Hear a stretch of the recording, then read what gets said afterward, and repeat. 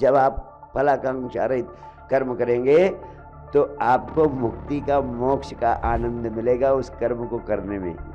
बड़ी सरलता से बहुत कुछ रूपांतरण अपने भीतर कर सकते हैं।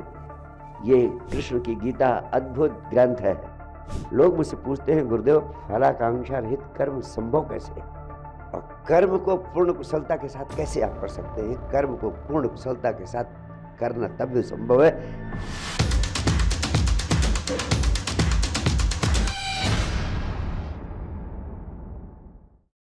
आप समझ लें कर्म योग का अर्थ क्या होता है? भगवान कृष्ण के कर्म योग का अर्थ है, कामना रहित कर्म, फलाकांक्षा रहित कर्म।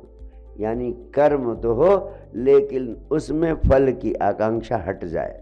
और मैं आपसे कहना चाहता हूँ, फलाकांक्षा रहित कर्म करने से पुण्य मिलेगा, सुख मिलेगा परिणाम मिलेगा, आत्मज्ञान मिलेगा आत्म साक्षात्कार मिलेगा।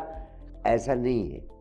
जब आप फलाकांक्षा रहित कर्म करेंगे तो आपको मुक्ति का, मोक्ष का आनंद मिलेगा उस कर्म को करने में ही। ये बड़ी प्रीतिकर बात है, आप प्रैक्टिस करके देखो। आप अपने जीवन में खूब कर्म करो, लेकिन आकांक्षा गुरु जी पे छोड़ दो।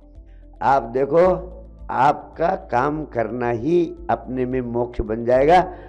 और फिर करते करते आपको ऐसा स्वाद लगेगा कि आप फल की आकांक्षा करने के चक्कर में पड़ेंगे ही नहीं। बड़ी सरलता से बहुत कुछ रूपांतरण अपने भीतर कर सकते हैं। ये कृष्ण की गीता अद्भुत ग्रंथ है। और ग्रंथ तब तक अर्थहीन है जब तक कि वो आपके प्राणों में धड़कने ना लगे। आप ज़िंदगी भर गीता को पढ़ते रहे, गीता कभी आपके प्राणों में धड़केगी नहीं।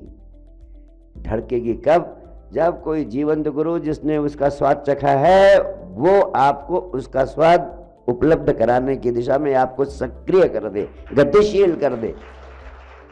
और आपके भीतर भी प्यास पैदा कर दे कि आप उस सूत्र को, उस मर्म को, उस विज्ञान को आत्मसात करने के लिए प्रेरित हो जाए, आपका कदम उठ जाए। इसलिए मैंने सोचा कि आपको इस अद्भुत अमृत से अवश्य आत्मसात कराने की चेष्टा करूँ।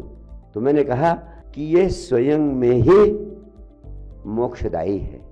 आपके जीवन में रस पैदा करेगा, आनंद की रसधार पैदा करेगा। लोग मुझसे पूछते हैं, गुरुदेव, फलाकांक्षा रहित कर्म संभव कैसे? थोड़ा समझने में मुश्किल है, लेकिन मैं समझाने की चेष्टा कर सकता हूँ क्योंकि मैं रोज रोज इसका स्वाद चखता रहता हूँ। और जब आप फलाकांक्षा रहित कर्म करते हैं तो आपके कर्म करने की शैली, कर्म करने का ढंग और कर्म करने की कुशलता कई गुना बढ़ जाती है। भगवान कृष्ण कहते हैं, योग कर्म सुकौशलम। अपने कर्म को अतिशय कुशलता के साथ कर लेना ये योग है। और कर्म को पूर्ण कुशलता के साथ कैसे आप कर सकते हैं? कर्म को पूर्ण कुशलता के साथ करना तब भी संभव है जब आपका कर्म फल की आकांक्षा से रहित हो जाए।